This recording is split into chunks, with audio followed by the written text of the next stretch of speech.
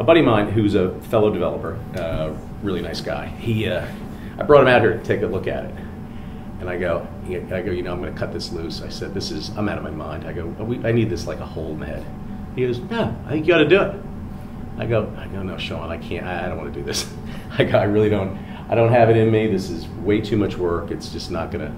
He said, well, he goes, you don't do it. He goes, because if you don't do it, nobody's going to do it. I said, well, that's fine. Then nobody's going to do it. Fine. So uh, a couple weeks later, I got a package in the mail, and it was a videotape. And Sean sent it to me.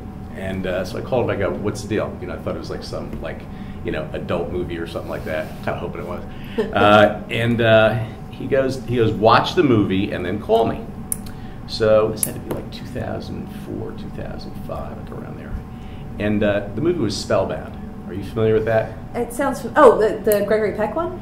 Uh, No, I I don't know. something else. Spellbound. It was a documentary about the National Spelling Oh, Bee. the spelling bee. Yes. So what they did, they did these. They followed four contestants, and they picked them out early in the competition. They followed them to the end.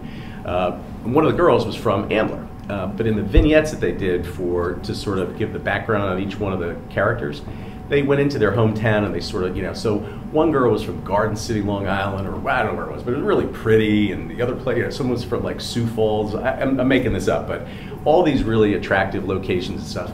And then they go to Ambler to give the background of this girl whose dad owned the bar next to Dex Hardware. And what they showed as indicative of what Ambler PA was, was this building.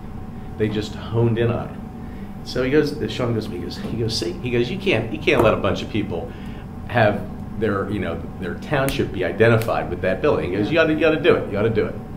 And I'm like, nah, nah, nah.